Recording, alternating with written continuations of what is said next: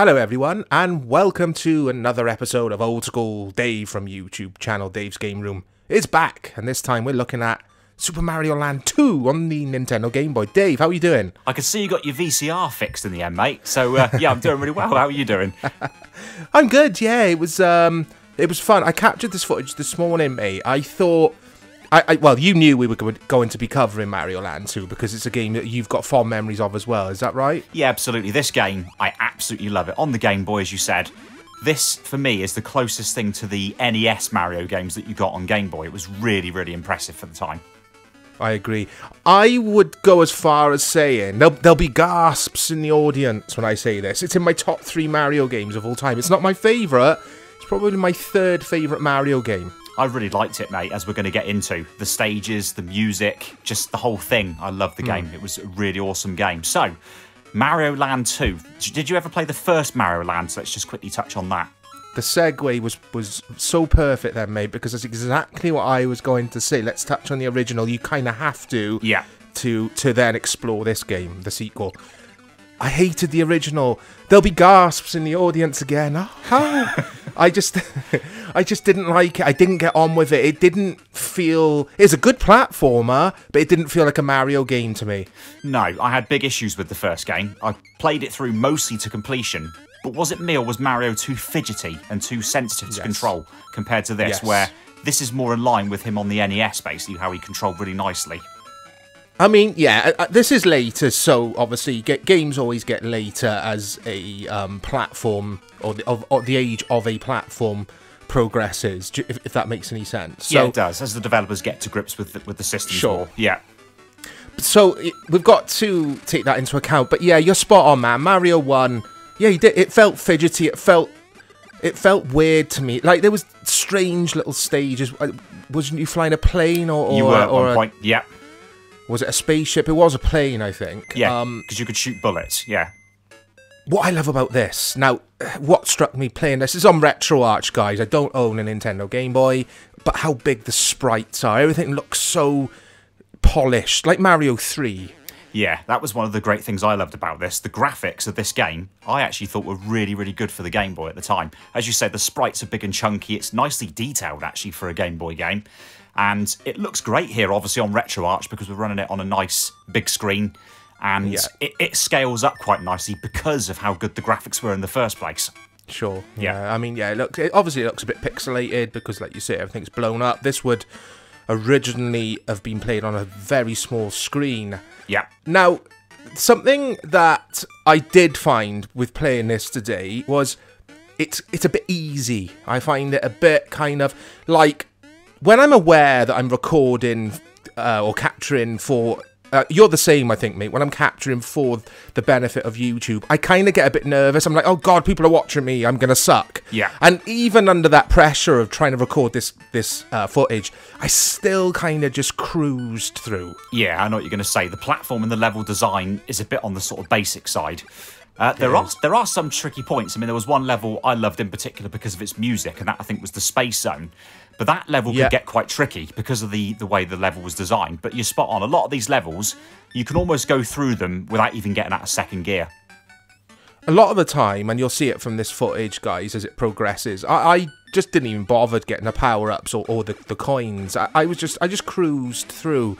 It felt a bit like Sonic the Hedgehog in that sense, where you can kind of just do that in Sonic if you get really good at the game. Sonic Sonic can be tough, but you can kind of just cruise through, not worry about the rings. Yeah, with this you can cruise through and just get to the to the bosses at the end of each level, can't you? That's the thing. yeah, There's nothing yeah. extra really that you need to worry about. I mean, yes, collecting coins will get you extra lives, but yeah, you're spot on. Um, it's it's one of those games where there's a lot of levels where, without even thinking about it, you can go from start to finish within within moments. Yeah, especially if you're you're so used to playing Mario games on the NES, which most of us would have been by the time we'd bought this. But I love this. Uh, is it uh, rabbit ears? It's the carrot you pick up, and then you could kind of hover. Yeah, I love all these little power ups that you get in Mario. They're so innovative. It's super cool. it's a bit like the feather power up I think that you got in Super Mario Brothers Three, It where you could where you could basically fly, couldn't you, or float? Yeah. I mean, when I when I played this back in the day, I borrowed it off a, off a guy in school. I instantly just thought this is Mario Three for the Game Boy. Yeah. I I mean, I must admit, I thought this was Mario basically for the Game Boy because of how good it looked in comparison to the first Mario game. I don't think I'd played. Oh no, I had played Mario 3 by this stage. I also borrowed it. I didn't actually own this game. I didn't own it until much, much later on in its life. Yeah, I played this um, quite late in its life. It'd been out a while and um, before I played this. I was very impressed after, like mentioning earlier.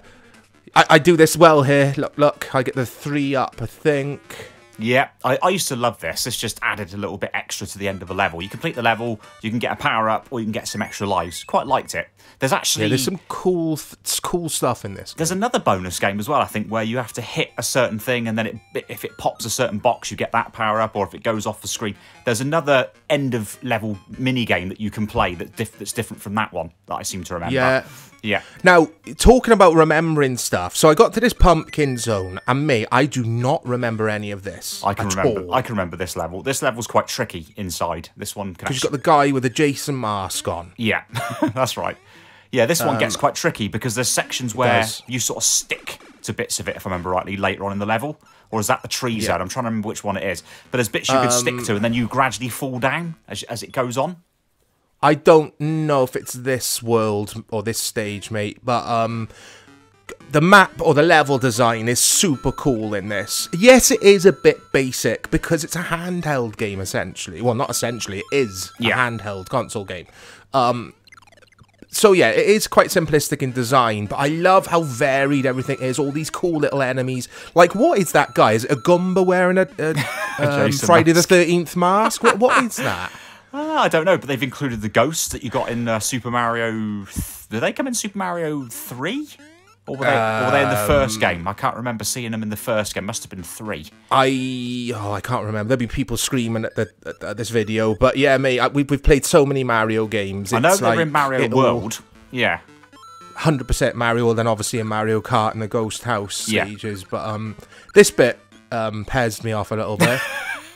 but again, it's cool. It's super cool. We're playing a handheld console game here, in and the Game Boy wasn't particularly powerful. It wasn't a powerhouse, was it? No, not at all. I mean, it was good for its time, don't get me wrong, Hmm. hence games being like this. This is essentially an NES game in your pocket, which back in those Yes. days was amazing to be able to play games of that quality. Because we were used to those Nintendo single screen, you know, Game and Watch games, weren't we? Game and Wh- Watch, Where they were maybe, yeah. simplistic.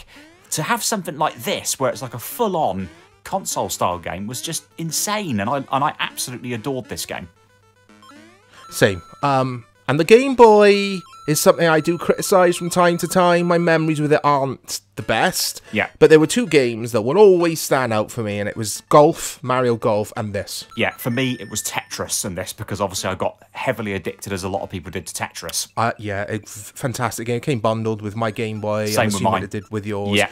Um, myself and my brother would play the System Link. We'd, we'd link our Game Boys together basically, and, and play the co-op Tetris against each other. It was awesome. I did that with my late uncle as well all those years ago. It was brilliant doing that. It was, it was Yeah. so much fun, guys. The Game Boy, th- this really shows the Game Boy off this game. I mean, it, it, it showed it was, a, like I say, not a powerhouse, but extremely capable for its time, Dave. Like you say, it was a fantastic console. I One more thing before we tie this video up. I do like the variety of enemies in this version of Mario. There's so many enemies you don't see in other Mario games. Exactly like this one here that you've jumped over. Yeah. They're completely different. I like the variety in the stages. I like the themes of the stages. It's top notch for me in terms of the, the sort of levels and the stages. It's just a bit too easy, as you say. Yeah, it is a little bit, and that's me just like nitpicking because this is a nine out of ten game, like easily, easily a nine out of ten. It was that good, and yeah, Dave, me and you, we well, we score games quite harshly, don't we? When we do give them scores, we won't throw out nines and tens at anything and everything. No, absolutely not. And the same for me. The only reason this would drop a mark is because some of the stages are too easy.